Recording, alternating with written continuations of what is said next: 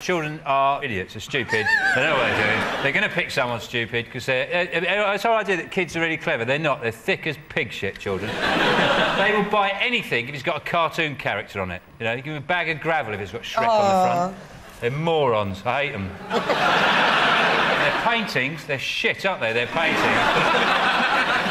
You got a little baby, haven't you? Yeah.